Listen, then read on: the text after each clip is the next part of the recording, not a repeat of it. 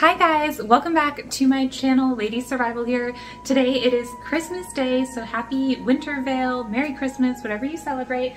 Today we are here with another World of Warcraft cookbook recipe and today I'm doing something that I've been looking forward to for years, months, really long time. We're going to be making the Westfall Stew. For those of you who don't know, I'm a huge World of Warcraft classic fan and Westfall is one of my favorite zones that brings back so much nostalgia for me and the Westfall Stew quest is just such an iconic World of Warcraft quest and I'm so excited to be here and making it with you guys today for Christmas dinner. So yesterday on Christmas Eve I went to the store to pick up all of the ingredients for it and it cost me like $50 so I'm really hoping that it's going to be super super yummy. Let's start with listing off all of the ingredients so that you'll know everything that we need in the Westfall stew. 2 pounds quality stew beef, salt and pepper, half a cup diced bacon, 2 tablespoons of butter, 1 pound of button mushrooms, 1.5 cups of peeled pearl onions, 1 tablespoon brown sugar, quarter cup of flour, 4 cups of beef broth,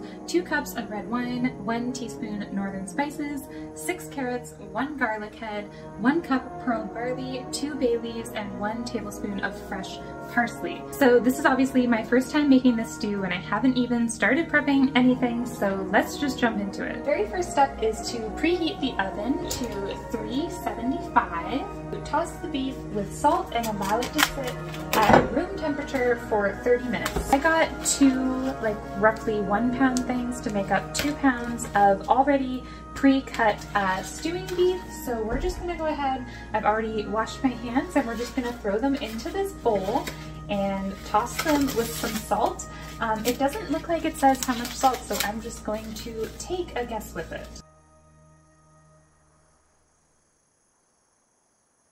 First half in, let's add the next one. Just gonna be using just normal salt and I'm just going to add some on. I'm really not sure how much. And I'm just gonna use my hands because I feel like that's probably the best, easiest way to toss it around.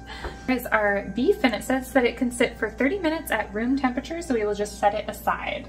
The next step is to scatter the bacon in a 9 by 12 inch baking pan with tall sides. I'm just gonna be using this roasting pan um, because I'm just gonna kind of put everything in here. I think that this recipe kind of wanted us to use like two different baking pans and then like put everything into something else, but I feel like it'll be so much easier to just use this roasting pan. So we're gonna be cutting up some bacon. We need half a cup, so I'm gonna cut some of this up until we have enough for that and put it into here to cook for 15 minutes with a tablespoon of butter. Also, you guys, check this out. I just ordered these on Amazon so I could have little purple uh, measuring cups and little teaspoons. So I'm gonna use this and I guess I'll just uh, cut up bacon until we have half a cup worth. We are gonna use my biggest knife for this because why not? I also want you guys to know I'm definitely not a professional, which I'm hoping is more like easy for a lot of you guys to follow along if any of you want to make these World of Warcraft uh, cookbook recipes because I'm just a random girl. I don't know what I'm doing, so I know that there's a lot of you out there probably also don't know what you're doing. We got a couple strips of bacon out and we'll just cut it and see how much we get.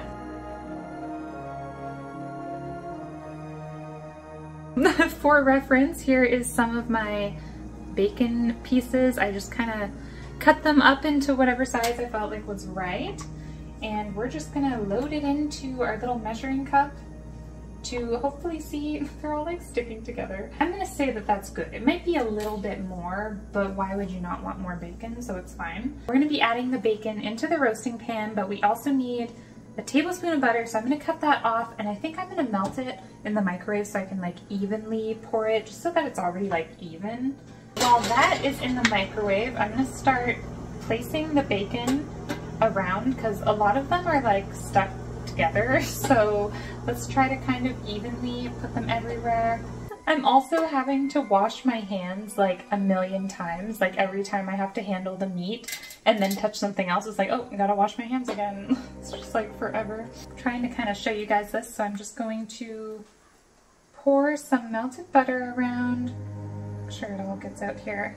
And then of course the bacon should make like its own grease as well. I think later we're gonna be adding some flour to make a roux and thicken it up nice. Okay, so we're gonna put this in for 15 minutes. The next step I hope I can do it in time. I have to cut the carrots and peel the skins off of the pearled onions while this is cooking and we'll just see how that goes, but we're gonna throw this in. And then I'm quickly gonna wash my cutting board so I can do vegetables and stuff on it now too. So we have six carrots that I now need to peel and wash and slice. And then we also have some white pearl onions and I'm really excited to use these because I've never tried them before. And I think that these are supposed to kind of replicate the murloc eyes in the stew, so I'm excited.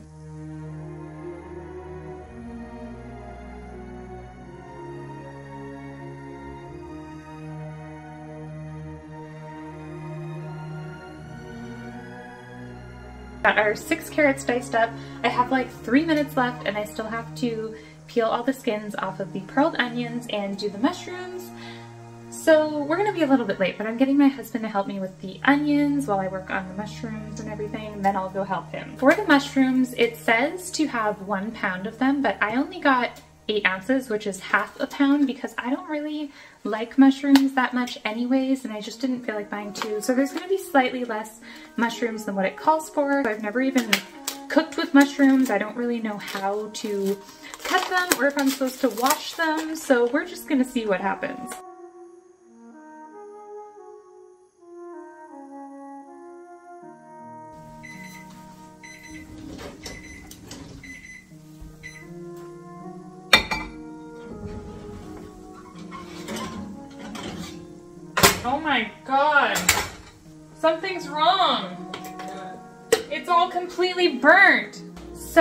Had a little bit of a hiccup. I pulled out the bacon and turns out it was completely burnt, like totally black. I have no idea why that happened. Um, I'm guessing that my oven might just get a little bit too hot. So yeah, that was an adventure. I had to pull it out, scoop out all the burnt bacon and drain the fat and wash this and now we're gonna be putting it back in, starting all over. And I'm just gonna keep an eye on it because that was way too hot. I don't know what happened. Here's an update on where we are at. I have my carrots in a bowl and my mushrooms prepared. I still have like five or six more mushrooms to cut up. I took a break from cutting them to cut up my new half a cup of bacon and I'm gonna put this back in with the butter and throw it in just for like five to 10 minutes and see how it goes.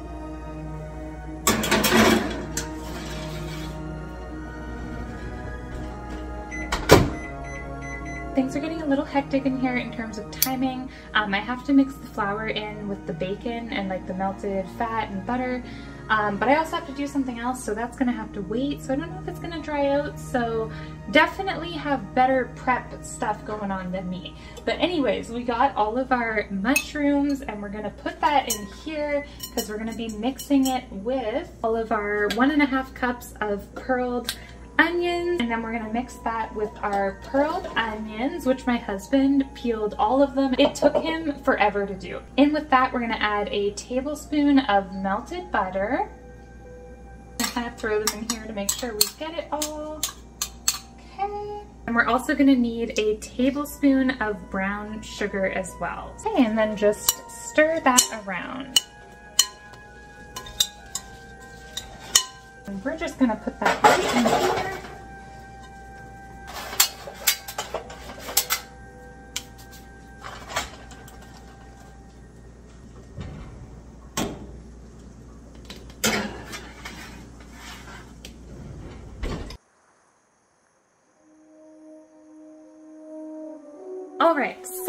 Am back with another update. Here is the onions and the mushrooms. They are cooked and now I'm supposed to put them aside and it's time to actually like assemble the stew and put everything in so it can go into the oven for a while. Again, the timing's not perfect. It's kind of hard to film and do this for the first time, um, but I already mixed the flour into here so we kind of got our roux going on. First thing we're gonna do is add in our beef broth. Uh, this is four cups of beef broth and it says to just whisk it in slowly. I guess we'll give it a shake because why not? Got this weird little baby whisk, but it should hopefully work. So we're gonna add this in and start to whisk it around.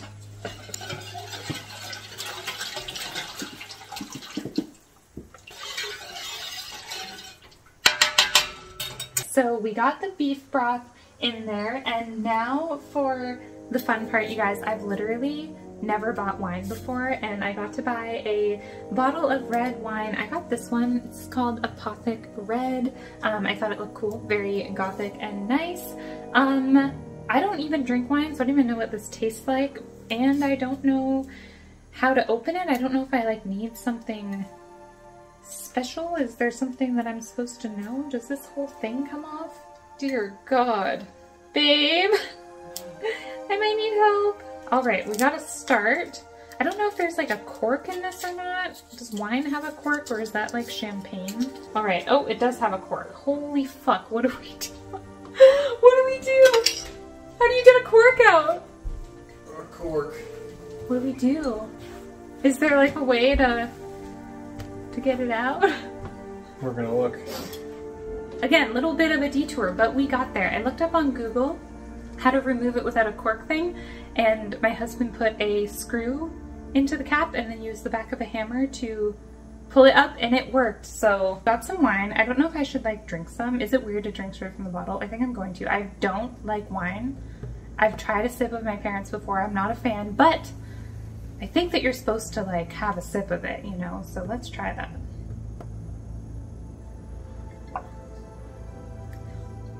Ugh. Okay, no. That's, ugh, no.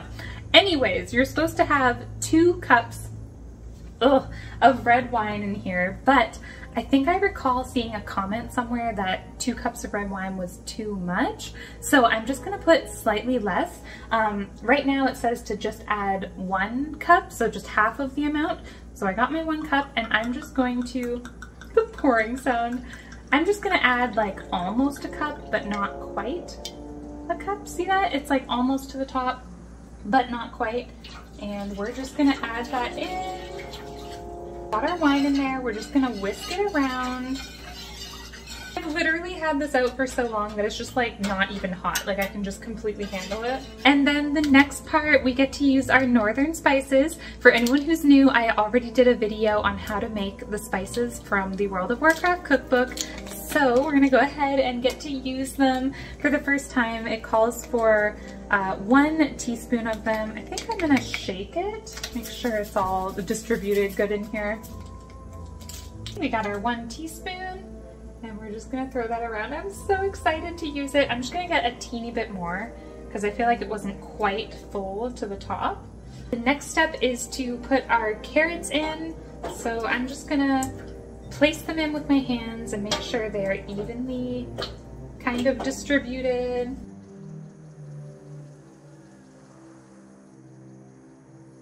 All right, and then I've got my garlic. I don't think that I was supposed to cut them, but I did because I didn't want huge chunks in there. So we'll just kind of distribute that in here as well.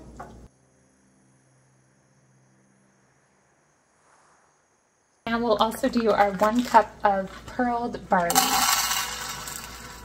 I'm doing slightly under a cup because I also heard that um, it can kind of soak up a little bit too much of the liquid, so we'll just go slightly under. We're definitely getting there. The last thing is to add the beef in and then it can go into the oven. So I guess I'll just kind of randomly place these around. Then just kind of uh, make sure that they're all submerged and then we also have to add a bit of water to cover the meat entirely.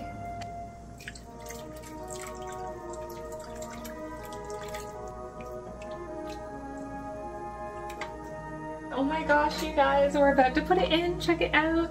Westfall stew. I am so excited. It has to go in for like two hours. We have our oven down to 325. Let's put it in.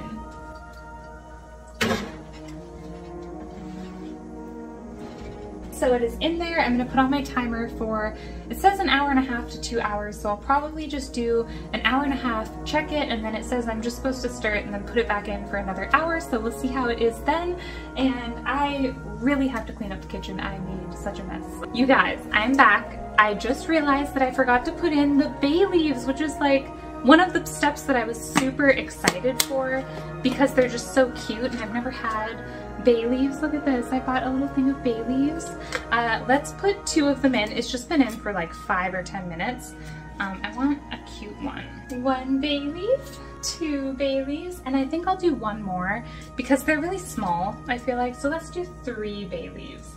Submerge them in there a little bit. Oh my god. I can't believe I almost forgot them and I had to show you guys. There's no way.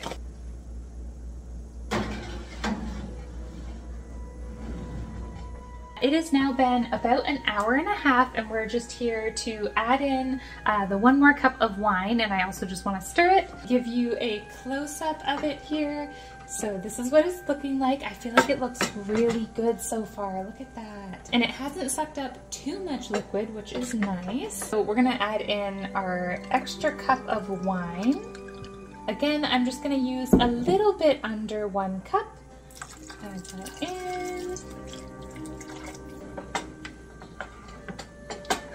Now we're also gonna add in the pearl onions and the mushrooms.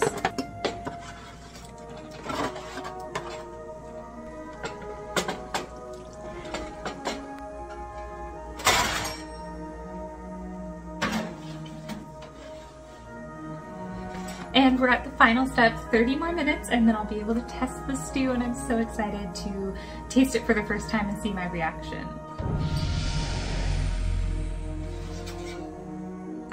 Can't believe it. The stew is finally done. Look at that. That's like thumbnail worthy. You guys will probably see this on the thumbnail. The Westfall stew. It smells so good.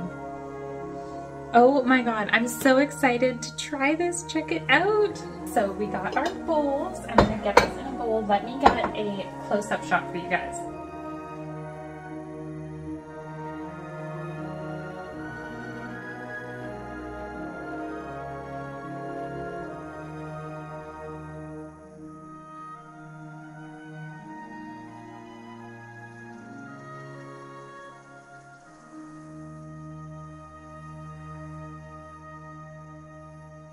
So here is my bowl of stew. I'm so excited.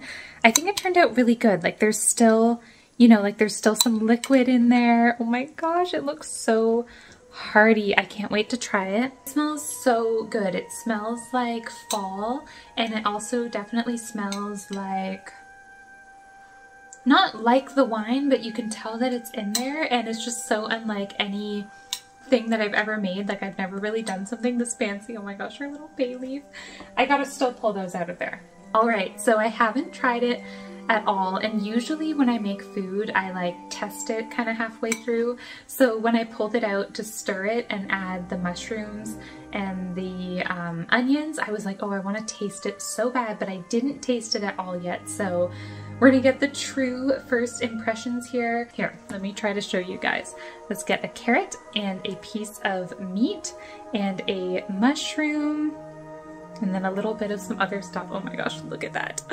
The first bite, I don't know how hot it is. I'm so excited, my first Westfall stew. I don't want to burn myself, I'm really scared.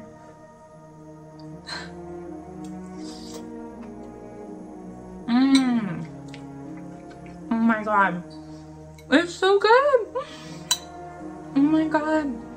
It's so yummy. I can't believe it tastes like I'm eating like a fantasy meal, you know, like from a tavern. Like it just feels very like Lord of the Rings, World of Warcraft, you know? Oh my gosh. I didn't even get an onion yet. Let me have an onion. I feel like the little onions are like our Murloc eyes, so let's try one.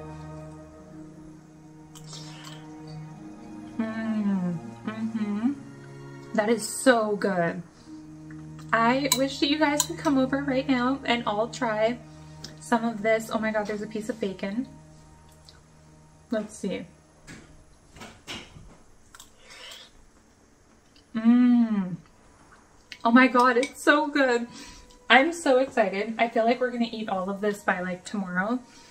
And I'm just going to want it all again. But I feel like it was really hard to make. I mean, I wouldn't say it was hard to make, but I was just really disorganized. And in the future, tips that I would give if you're going to make it, pre-prepare all of your stuff, like pre peel and cut the carrots and cut the mushrooms and peel the pearled onions because that took forever. That took my husband like 30 minutes to do and I needed his help. There's no way I could have done it alone. So if you make this, I would pre have everything prepped and just ready to go in like a bowl so that you can just like add it in and just go for it would make it so much easier. Of course, also filming a YouTube video does make it a little harder, so I was probably extra like, ah, but it's not too bad. It's not too hard to make. I'll definitely leave the recipe down below for you guys so you can do it. Let me know if you've ever done the Westfall stew before and what you thought of it and how did yours turn out compared to mine? Like did yours look similar to mine? I feel like it turned out pretty good. Um, like I saw some other pictures online and like other videos of people making it and I feel like mine looks pretty good. Not too dry, there's definitely some liquid in there. I feel like this is just gonna become like a just watch me eat video because I don't want to stop and I don't want to turn off my camera. I really hope that you guys enjoyed this video and liked cooking with me. It's like 10-15 p.m. so it's like super late at night that we're finally eating this but again I hope you all had a super good Christmas and happy Winter Veil. Uh, let me know what you did today and how your Christmas was and hopefully I can get this up relatively soon, not too long after Christmas, but it'll take me a little bit to edit. But anyways, I love you guys. I hope that you have a wonderful day and I'll see you in the next one. Bye. Okay, I got my husband here to try it. He doesn't like mushrooms, so we're gonna see how he feels about it. But I think that it's super, super good, so. I like the Murloc eyes. I know, right? They're the best. Mm.